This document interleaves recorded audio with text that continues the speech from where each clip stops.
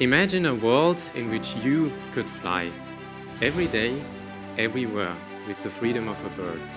Millions thought this was a dream of their childhood, like you. We make that dream come true. My name is Daniel Wiegand. I am CEO and co-founder of Lilium Aviation,